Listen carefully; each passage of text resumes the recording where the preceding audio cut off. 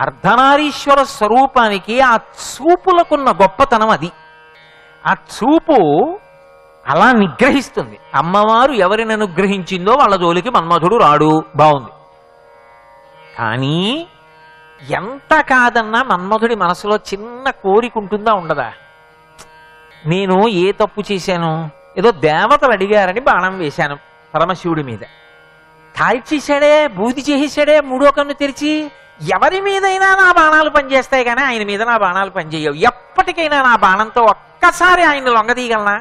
అమ్మవారు పట్టుకుంటేనే లొంగుతాడు నేను పట్టుకుంటే లొంగడు? ఆ బాణానికి చెరుకు బిల్లికి అప్పటి నుంచి పట్టుకోవడానికే భయం శివుడు ఎదురుగుండా. మరి ఎలా?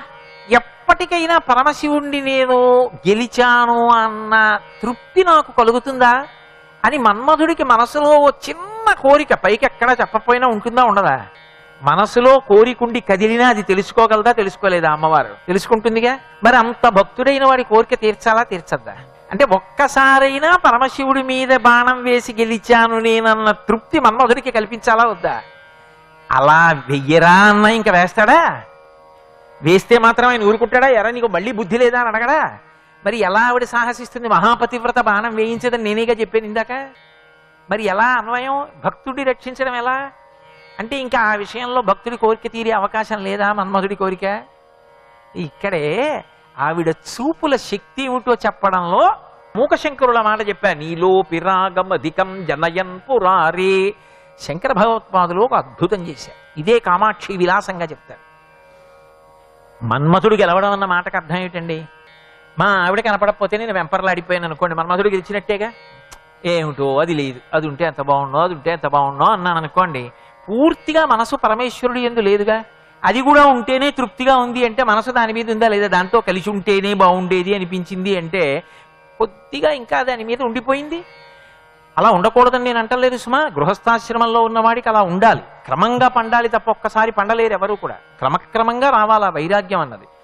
అంటే వైరాగ్యం రావలసిన సందర్భం వచ్చినప్పుడు వరదలాగే వస్తుంది అనుకోండి. చుక్క చుక్క వరద రా- వైరాగ్యం రాదు ఇప్పుడు. వైరాగ్యం వస్తే పూర్ణంగా వస్తుంది. కాబట్టి ఇప్పుడు మరి ఎలా? అంటే కామాక్షి విలాసంలో ఒక మాట చెప్పారు. మన్మధుడి కోరిక తీర్చాలనుకుంది అమ్మవారు. పరమశివుణ్ణి మన్మధుడు కూడా గెలిచాడు. ఒకనకొక సందర్భంలో. అని మన్మధుడు సంతోషపడిపోవాలి తన భక్తుడు. అమ్మా అమ్మా నేను కూడా గెలిచేశానమ్మా. ఇది శంకరుడికి చెప్పక్కనే అమ్మా నా గెలుపు ఉంది అందులో. అని మన్మధుడు మురిసిపోయి ఒకసారి ఆవిడికి మాత్రమే ఆవిడ దగ్గరికే వెళ్ళో నమస్కారం పెట్టి వెళ్ళిపోవాలి. ఆయనకి చెప్పకూడదు. చూడండి కొంతమంది అతి సౌకుమార్యం కలిగిన హృదయం ఉన్న భక్తులు ఉంటారు. ఏదైనా ఆయనతో మాట్లాడాలనుకోండి గురువు గారికి చేయరు గురుపత్నికి చేస్తారు. చేసి ఆవిడతో మాట్లాడతారు. ఇది ఇప్పటి సంప్రదాయం కాదు. ననుబ్రోవామని చెప్పవే సీతమ్మ తల్లి అని ఆ- ఆవిడికి ఫోన్ చేసి ఆయనకి చెప్పమని అడుగుతుంటారు. ఎందుకంటే ఎప్పుడు చెప్పాలో అప్పుడు చెప్తుంది ఆవిడ. ఏమో ఎలా ఉన్నాడో ఎందుకు వచ్చిన గొడవ? అని కాబట్టి అది జగన్మాత జగత్పితల విషయంలో కూడా అన్వయమేగా? అందుకని మన్మధుడు అమ్మకే చెప్తాడు అమ్మ ఎప్పుడైనా ఒక్కసారి శంకరుణ్ణి గెలవగలనా అమ్మా? నేను కూడా ఓ బాణం వేశాను అన్న తృప్తి ఉంటుందా అమ్మా? నువ్వు పట్టుకుంటేనే లొగుతాడా? ఒక్కసారి ఎప్పుడైనా నేను కూడా ఒక్క బాణం వేస్తే నా గెలుపు అక్కర్లేదమ్మా. నా గెలుపు అంటే ఏమిటి? నేను ఓ బాణం వేస్తే ఏమే? అని నీ వంక ఇలా సంతోషంగా చూస్తే నేను గెలిచేసినట్టేగా? అమ్మా అలా నేను బాణం వేస్తే నీ వంక చూస్తారా అమ్మా? అడగ్గా అడగ్గా అడగ్గా అడగ్గా అమ్మవారు అందిట ఊరుకో నేను చెప్తాలి. ఆ మాట ఏంటంటే పర్వాలేదు. కొంత దారిలోకి వచ్చింది ఎప్పటికి తీరింది ఆ కథ? కామాక్షి విలాసంలో ఒక చమత్కారం చెప్పారు. అమ్మవారు ఏం చేసిందంటే కాంచీపురం చుట్టూ ఉన్నటువంటి దేవాలయాలన్నిటి నుంచి తన యొక్క తేజస్సుని ఉపసంహారం చేసింది. అందుకే ఇప్పటికీ కాంచీపురం చుట్టుపక్కల ఉన్న శివాలయాలు వేటిల్లో అమ్మవారి మూర్తి ఉండదు. కామాక్షి పరదేవతే అన్ని శివాలయాలకి శక్తి స్వరూపం. అందుకే అన్ని అమ్మవారి దేవాలయం చుట్టూ ప్రదక్షిణంగా పెడతాయి. అది వరదరాజస్వామి వారి ఉత్సవం కానివ్వండి లేదా ఏకాంబరేశ్వరుడి ఉత్సవం కానివ్వండి ఏదైనా కామాక్షికి ప్రదక్షిణంగా పెడతాయి దేవాలయానికి. అమ్మవారే అన్ని శివాలయాల్లోనూ ఉన్నట్టు.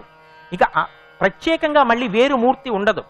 అన్ని శివాలయాల నుంచి అమ్మవారు ఉపసంహారం చేసి అన్ని శివాలయాల్లోనూ ఉన్నవాడెవరు? ఆ శివుడే. ఆయన మాత్రం ఆవిడ ఉపసంహారం చేయగానే ఇలా చూసి ఇది అనుకున్నట్ట. ఇదిది కనపట్టలేదు అని మనసులో కించి దిగులు పొందాడు అంటే మన్మధుడు గెలిచాడా లేదా?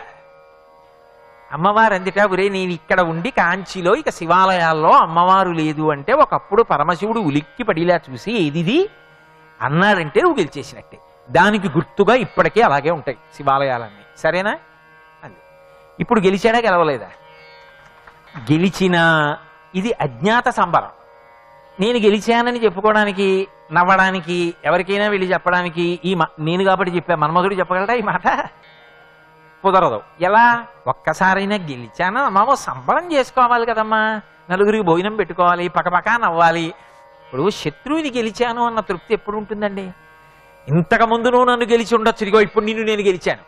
అని ఆయన్ని గెలిచి పక పక పక పక నవ్వితే అప్పుడు సంబరం. అంతేగాని నువ్వేదో ఉపసంహారం చేసావు ఆయన ఇలా చూసి ఇది ఏది అని ఉలిక్కిపడ్డాడు. ఆవిడ కోసం ఉలిక్కిపడ్డాడు కాబట్టి మన్మధుడి ప్రమేయం ఉన్నట్టే కాబట్టి పరోక్షంగా నేను గెలిచినట్టే అని అన్వయం చేసేసుకుని మురిసిపోనమ్మా?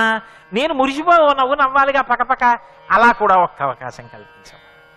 ఇన్ని గొంతెమ్మ కోరికలు ఉంటాయనుకుంటున్నారు అంటే అందుకే అమ్మవారు ఎప్పుడు వచ్చినా పరివారంతో వస్తుందండోయ్. అమ్మవారు ఎప్పుడు ఒక్కత్తి ఉండదు. మీరు బాగా గుర్తుపెట్టుకోవాలి.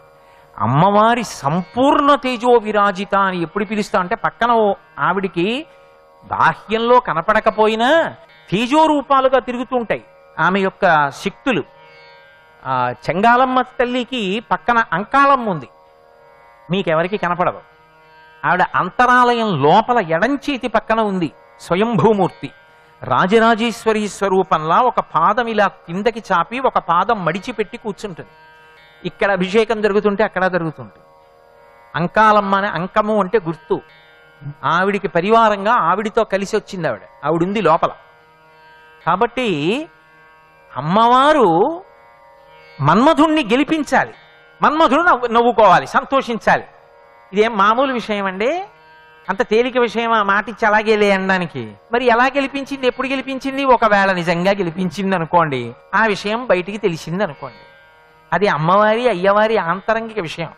అది బయటికి తెలిసింది అనుకోండి మనం కూడా అపచారం చేసినట్టు అవలా? అలాంటి విషయాలు తెలుసుకుని నీకు ఎందుకురా అక్కర్లేని విషయం అని అడగరు? మరి ఎలా గెలిపించడం? ఈ రహస్యం చెప్పిన వారు ఎవరంటే శంకర భగవత్పాదులు చెప్పారు ఎలా గెలిపించింది. సౌందర్యలహరిలో దాని అంతరార్థం వేరు.